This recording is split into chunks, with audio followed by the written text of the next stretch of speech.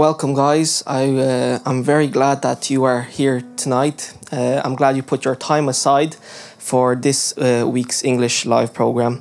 Um, there are many things waiting for you um, songs, uh, a word of God, uh, a motivation, prayer.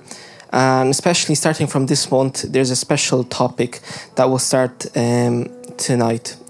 Uh, I want you to get ready. I want you to get your hearts ready to uh, worship the Lord, to worship God. Um, and God is there with you. Even though you miss church, I know you do. I miss church as well, being all together. Um, but it says in the Bible, where there are two or more um, gathered in my name, I am there, and, and He is present with you. Um, I want you to get ready for uh, for you to sing along with us. I want you to pray with us, and um, let your heart um, be God's. Let everything aside, um, and just get ready to worship God. Amen.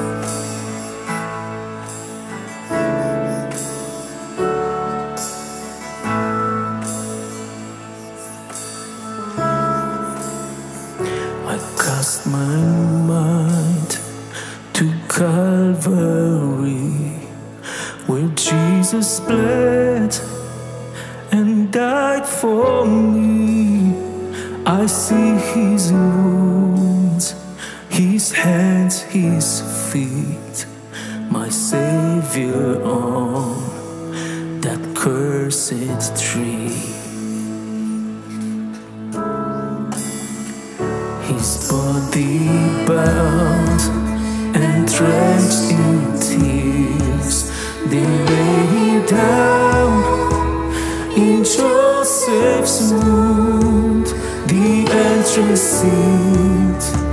By heavy stone,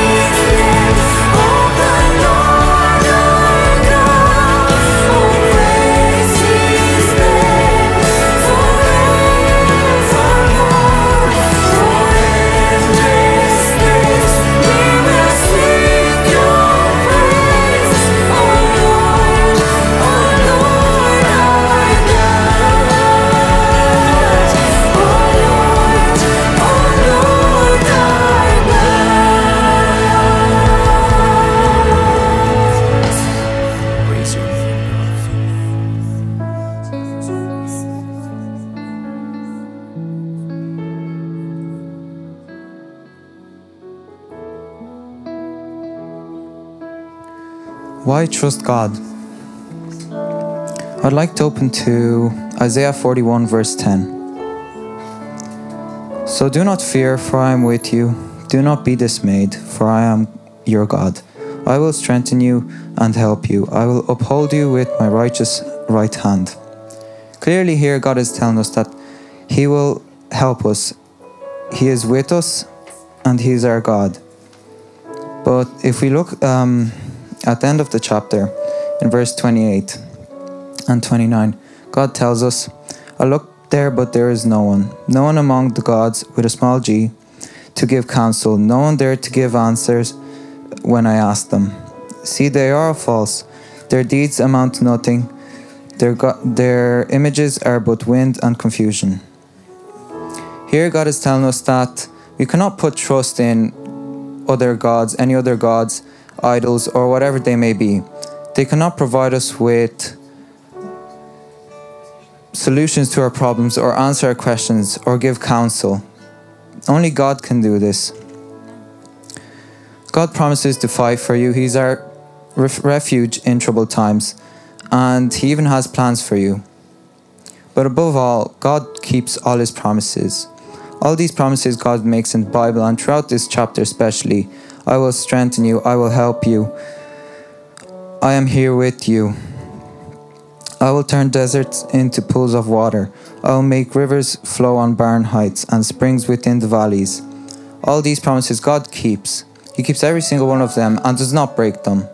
So trust God. Nothing can lead you to victory, solve your problems, or give answers to your deepest questions like God does. Only God can do this.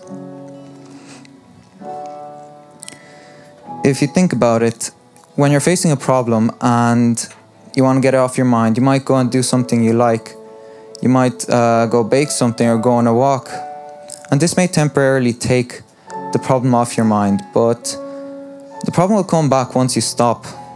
And it won't give you peace. It hasn't disappeared. However, God can solve your problems and answer your deepest questions. So trust Him. He knows exactly what you need. God knows exactly what you need and He gives generously. So don't be afraid to ask Him for anything. Trust Him. If we take Jesus, for example, um, we can see during His prayer in the Garden of Gethsemane,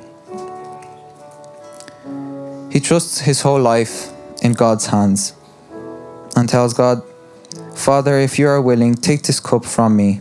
Yet not my will, but yours be done. Jesus trusts God fully and he knows God's will is better. He knew God's will was better for him and that God would fulfill, fulfill this will. This is a perfect uh, illustration of trust. I encourage you to trust God in your prayers. Bring your problems and questions before God because He can answer them, He can solve your deepest problems. And God will fulfill the, the promises He has made towards you, the plans He has for you, and the purpose He has for you. So trust Him. Amen.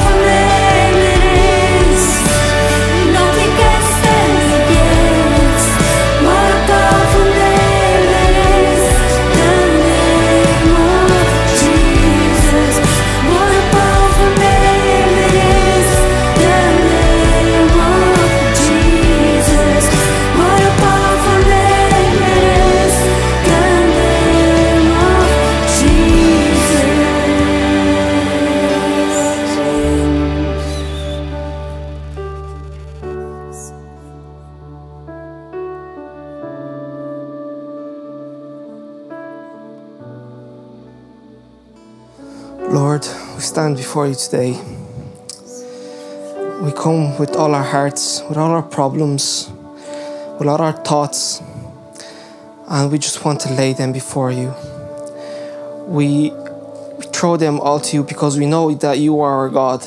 We know that you have the answers, you have promises for us. They're all laid out there in, in your book for us. All we have to do is search for them, look for them. Please we want more of you. We want we need you right now. All of us. The youth, the teens, the children, the adults, the men, the women. Betania Church needs you, Lord. We are willing to stay at your disposal. We want to do your will. not ours. I know you will make great things. You have many promises for us. And you have many miracles, new things for us. All we have to do is stay at your disposal. When we are in problems, when we are in need, many times we look away from you because we think we can solve them. We think we know how to do better.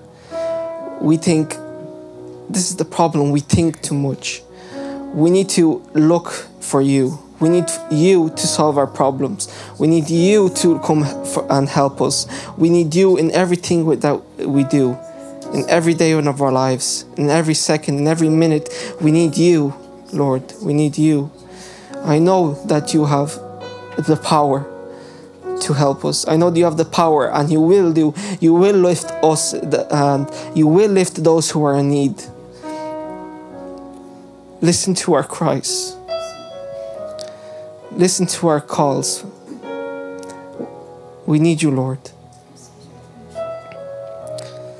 We need you, Lord. Amen.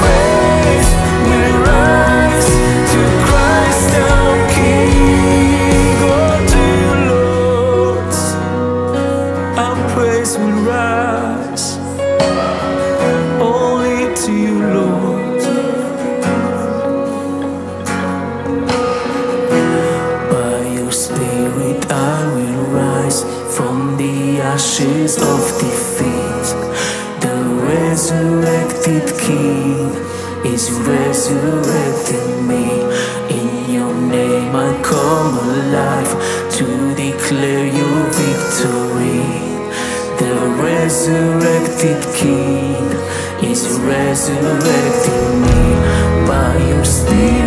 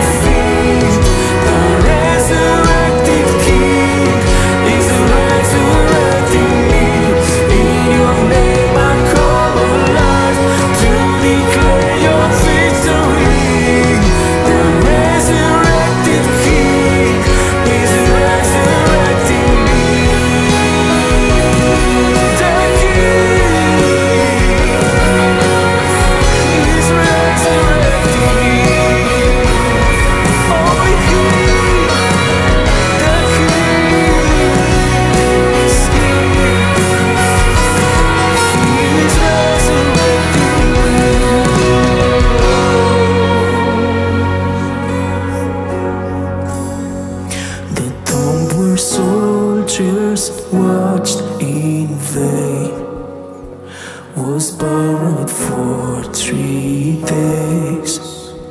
His body there would not remain. Our God has run.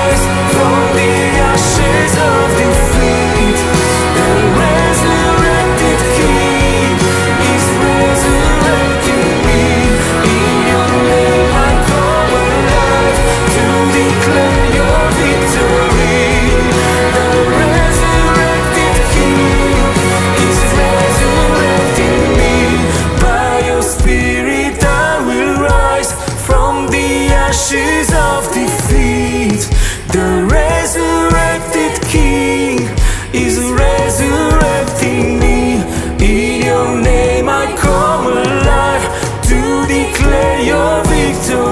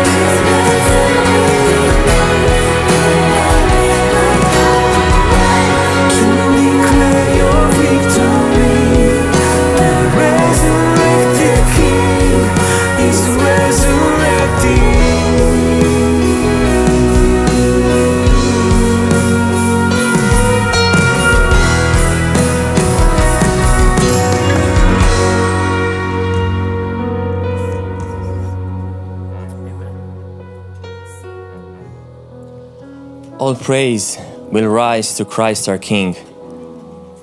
What an amazing time to be in, in God's presence in worship. And we want to thank the worship team and we want to ask God to bless their family for the amazing work they do and for the fact that they lead us into worship every time uh, every time we meet praise lord for that it's a new day and I'm so excited to be here, to be able to share a few words with you from God's Word. As you can probably see, uh, the spring is almost here, um, trying to settle, and um, we can see that the we can learn a lesson that the winter doesn't last forever. We can see the the plants, the, that the trees bloom, and that's and that's good. We it gives us some good vibes, uh, positive vibes after a long period of, of quarantine and after a, a, a hard time. I know probably you're all uh, fed up with uh, quarantine and. Um, I'm, I'm sure most of you are fed up by staying home, but um, hold on a little bit more because uh, we're nearly there. I believe that 2021 will be a different year uh, in all the aspects, and I pray God for that. Uh, I say that from different reason. Always springs brings new new beginnings, and today we'll start a new series of messages called Honoring God. Uh, I don't intend to teach you something tonight, uh, and I rather want all of us to learn something from the Word of God together. I pray that the Holy Spirit will penetrate your hearts and that the truth uh, will renew our, your thinking according to God's will. So, on top of the list of um, the new series stands We honor God when we care about each other. God created us to have relationships, and we function as a body of Christ only through relationships. Why? Because it's part of God's plan for us. It's part of who we are as human beings. We relate in the same way the Trinity relates. And today I'm going to share a few words uh, about relationship, not about romantic relationships today. This will be another day. Uh, but just, I want to talk uh, about the relationships within the body of Christ, our church, and specifically the caring aspects in a relationship, how much we care about each other within the youth generation. Obviously, this message is addressed to uh, youth, but it applies to the rest of the church and all the generation.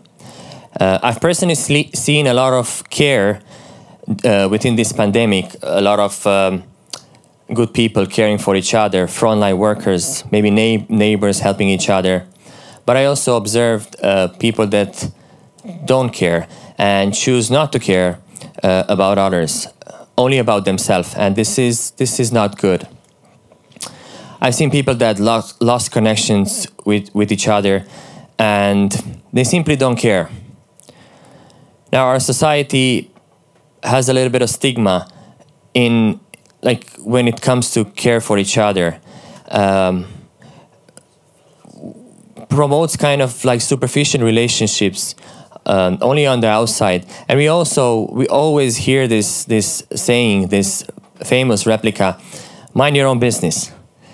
I've noticed that especially within young gener young generation, um, our society uh, promotes some awkward politeness.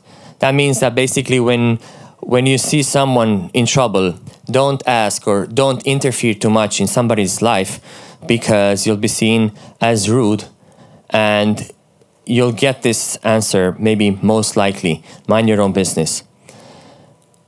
Well, recent studies show that caring for others is good for our health as well. It's beneficial to our well being. Giving support to others out of choice leads to reduced stress, increased happiness, and an increased sense of social connectedness. That's why my message came out from a burden that we should have when it comes to care about each other, especially within the young generation. Well, in church, it shouldn't be like that. Our relationships shouldn't be superficial. We have to care for each other. And my heart goes to the body of Christ. And I'm asking myself, and also you can ask yourself, how much do I personally care about my brothers and sister from the body of Christ? Do I really care? Or I'm happy that everything is fine with me and I can go on with life like that. And I have a really important question that I want you to meditate on tonight. What makes our relationships with, within Christians different from those in our society? Well, one of the main answer is the fact that we live in a body, the body of Christ, and that makes the difference. In 1 Corinthians chapter 12 verse 12 says, "The human body has many parts, but the many parts make up the whole body. So it is with the body of Christ." We as we as Christian are a body and we can function only to the blood of Jesus and that's still running for more than more than 2000 years it's present but we cannot function um, only together only stick together um, you probably know that our human body has this autoprotective reflex response that prevents the body from getting uh, big injuries like it's a, a protective reflex so basically it means that the parts in our body care about each other. So imagine what will happen if the parts in our body wouldn't care. So, for example, when some when a, a, a, an object comes towards you to to hit you, your hand wouldn't reflect, and it will hit your head or whatever it hits you. How would we function if if our body will function like that? I, we won't function properly. The quality in our relationship is measured by the level of care the caring aspect that we show to each other, the fact that we care about each other. And this is demonstrated, firstly, by Christ on the cross. Not just a superficial care feeling, but one that never lets go and really cares about its friend. It cares to the point that it would sacrifice itself for the well being of others. This care is deep and profound and I invite you to look with me together in the Word of God and let's see from the Word of God example of people that cared about others so much. And let's open open the Bibles in Acts chapter 12. And I'm sure you're familiar with uh, Peter's miraculous escape from prison. So Acts chapter 12 verse 1 to 5. It was about this time that King Herod arrested some who belonged to the church, in, intending to persecute them. He had James, the brother of John, put to death with sword. When he saw that this met with approval among the Jews, he proceeded to seize Peter also. This happened during the festival of unleavened bread. After arresting him, he put him in prison, handing him over to be guarded by four squads of soldiers each. Herod intended to bring him out of public trial after the Passover. So Peter was kept in prison, but this is a very, very uh, important aspect. But the church was earnestly praying to God for him. Now, what would happen and what would be the outcome if the church wouldn't care and wouldn't pray for Peter? I don't know. It, it probably will be a different one maybe Peter will still be in jail. I, I don't know, but what I, what I want to say with this example is that the church cared, cared for the fact that Peter was in prison and did something, prayed for Peter. So, how much do we care for our brothers and sisters that are in prison in spiritual in, in a spiritual sense, uh, in the prison of sin and in shackles of addiction? Do we, really, do we really care for their lives? Do we, do we ever make any contact with them or we exclude them for, from our safe bubbles? We should follow the primary example of the church and at least pray for them. There's a lot of people within young generation that are suffering probably addiction and we as a body we have to care for each other. We have to care for them. We have to do something for them. Then let's have a look as well in Exodus chapter 32, verse 9 to 11, and then verse 30 to 32. It's this this story is about Moses, and this is one of my favorite passages from the Bible. This man cared so much about his people that he would put, if you want to say, his eternity with God in between himself and the people. So let's see. Verse 9 Then the Lord said, I have seen how stubborn and rebellious these people are. Now leave me alone so my fierce anger can blaze against them, and I will destroy them. Then I will make you, Moses, into a great nation. But Moses tried to pacify the Lord his God. Oh Lord, he said, why are you so angry with your own people, whom you brought from the land of Egypt with such great power and such strong hand? And verse 30 The next day Moses said to the people, You have committed a terrible sin, but I will go back up to the Lord on the mountain. Perhaps I will be able to obtain forgiveness for your sin. So Moses returned to the Lord and said, Oh, what a terrible sin these people have committed. They have made gods of gold for themselves. But now, if you will, only forgive their sin. But if not, erase my name from the record you have written. It is an extraordinary statement. And whenever I read it, I cannot understand how much care Moses had for his people, how much he cared, that he even put his name, he even wanted his name from to be to be erased from the book of of life, if you want to say, for the sake of his people. That is extreme care. That is is amazing. Obviously, God doesn't ask us this, but this this example showed that the people of God care for each other. And this is what God wants from us. Again, in the New Testament, in Romans chapter 9, verse 1 to 3, we see Paul here doing a similar statement. With Christ as my, witness, I speak with utter truthfulness. My conscience and the Holy Spirit confirm it. My heart is filled with bitter and sorrow and undying grief for my people, my Jewish brothers and sisters. And watch out, check check this out. I would be willing to be forever cursed, cut off from Christ, if that would save them. Extraordinary.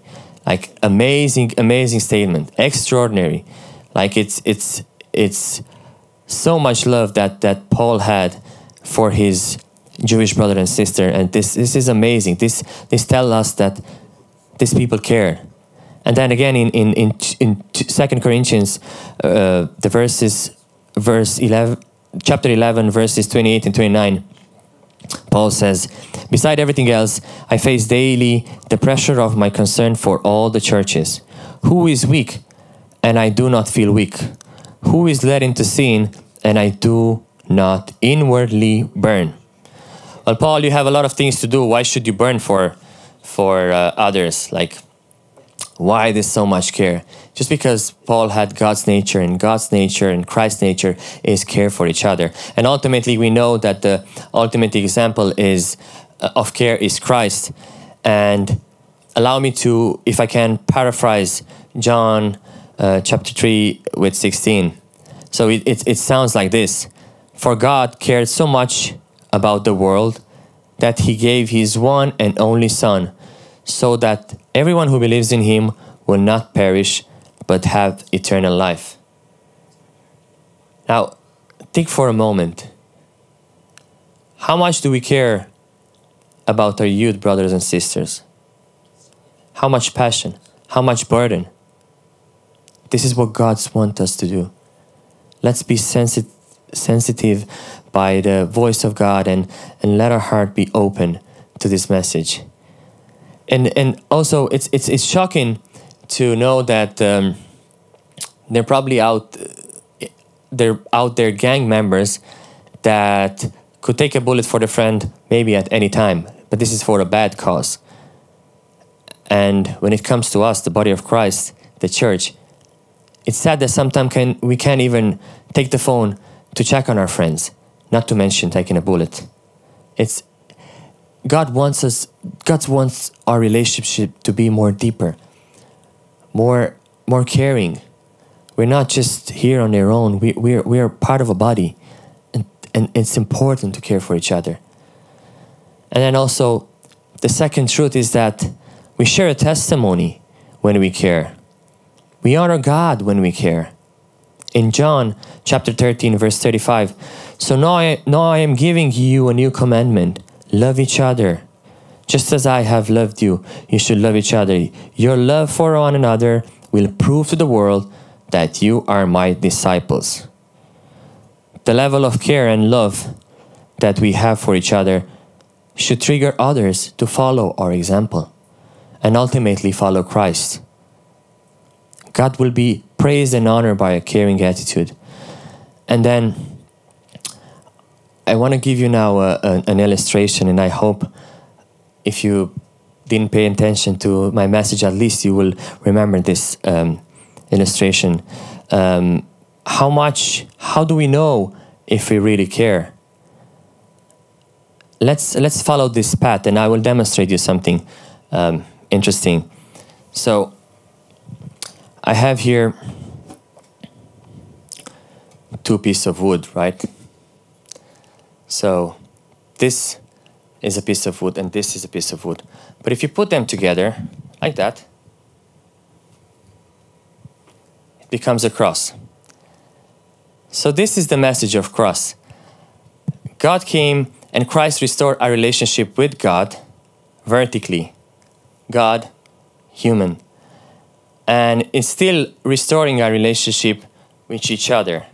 So this is the complete message of, of, of the Bible. God, human, and each other. We cannot function um, as a whole without this. Uh, this is the message of Christianity. We can, this is the, the, the complete message of, of gospel. So you can we can't say, oh well, I love God, but I don't care about each other because you're a simple vertical uh, piece of wood. Uh, that's that's that's the cross. You know, that's the message of the cross. God, knowing God, makes us to care for each other. It's amazing. Even if you want, even our bodies, like our design, like if we if we if we stretch our hands, like we can reach each other. We can grab each other's hands. That's that's the way we were designed to care for each other. And also the greatest the greatest commandment is love God and care about people. We can't say that we love God and if we don't care about others, this is just hypocrisy. We cannot do that. This is not the message of the Bible. Our level of care should be deeper and our attitude should be a caring one. Now, we shouldn't get upset if in between ourselves, in the body of Christ, somebody asks you, Hey, I haven't seen you for a while. Maybe I haven't seen you online on, on, on the church program. Are you okay? Something wrong with you? Uh, the society probably has a different option, opinion on how much should we care. Be polite, don't interfere. Maybe it's rude to ask somebody. Maybe they have their own problems. Well, this is not the case in, in, in Christ's body. We are all children of God, and we care too much not to interfere where somebody is dying. Imagine yourself walking somewhere on the street and, and you, you see some, somebody that is, you see a house that is burning, and you won't interfere. You won't even pick up the phone to call the fire brigade. And this is, is, is really mind blowing, you know? Sadly, sometimes we are prone to this attitude, but God speaks to us today. We, we shouldn't be like that. Our relationship shouldn't be deeper. I shouldn't be upset if, if you come and ask me, Paul, I haven't seen you for, for ages. How are you? How's your life? This is what God wants us to do, to care for each other.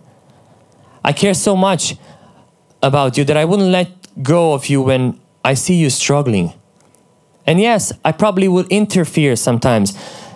And sometimes I would ask questions because I care about you and I want to help you. I want to follow Christ's example. You shouldn't be upset on me about that, on, on other. This is the way we should function as a society. So we have our relationships in church, but now with the with this pandemic, the physical church, the, the building, we cannot meet at the moment, but we're we are a church in, in the spirit. So we shouldn't forget that. We should contact each other. We should ring each other. We should uh, text each other. If you if you if you didn't hear for somebody for a while, or you you know somebody is struggling with addiction, pick up that phone and give him an encouragement. Show that you care.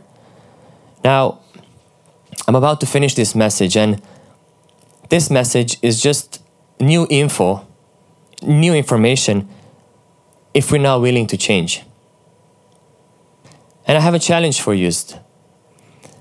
um, pick up that phone and contact one person, one person that you think needs help, and show that person that you care. Pray with them. Do something for the kingdom. Let's show that we care. This is the message of the gospel. This is how we function as a body. Let's be deeper in our relationship. Let's follow Christ's example and show care in all aspects that we do. And let's show the world that we care for each other. Because only that way they will see our good examples and they will come to Christ. May God bless you all and may you have a wonderful week in God's presence. And please, if you, if you know when you see somebody struggling, please do something about that. Call each other, text each other, do something because we are a body in Christ. And one day we'll all be together in the presence of God. May God bless you all. Amen.